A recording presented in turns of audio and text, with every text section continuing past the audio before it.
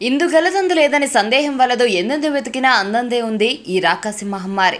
చరాచర భూలోక మండలంలో ఈ సూక్ష్మజీవి ప్రవేశించని ప్రదేశమే కనిపించడం లేదు. ఈ పీడ వెరగొట్టడానికి కొన్ని వేల మంది శాస్త్రవేత్తలు రేయింబవళ్ళు శ్రమిస్తున్నారు. నిద్రాహారాలు మాని మరీ ఈ కంటికి కనిపించిన జీవిని అంతం చేయాలని తలపోస్తున్నారు. త్వరలోనే దీనికి టీకా వస్తుందనే సూచనలు ఇస్తున్నారు శాస్త్రవేత్తలు. ప్రపంచవ్యాప్తంగా సుమారు కొన్ని వందల ఫార్మా కంపెనీలు ఇదే పనిలో బిజీగా ఉన్నాయి. విముక్తి కలిగించాలని కలలు కంటున్నారు.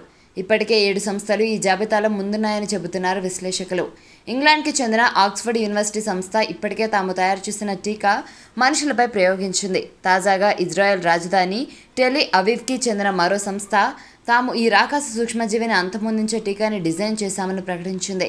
ఈ సంస్థ చేసిన టీకా డిజైన్ టీంలో ఆంధ్రప్రదేశ్ కర్నూలు జిల్లా నందలూరు మండలం కోసపురం గ్రామానికి చెందిన ఉప్పల్పాటి లక్ష్మీ నరసయ్య ఉన్నారు.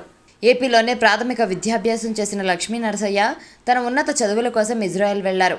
అక్కడ టెలి అవిన్ యూనివర్సిటీలో పిహెచ్డి పూర్తి చేసిన ఆయన అదే యూనివర్సిటీలోని ప్రముఖ శాస్త్రవేత్త జోనాథన్ గెర్షోని టీంలో మెంబర్గా చేరారు.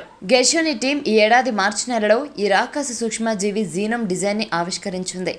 దీనిని అమెరికాలోని ప్రఖ్యాత సంస్థలు పేటెంట్ సైతం ఆవిష్కరించాయి.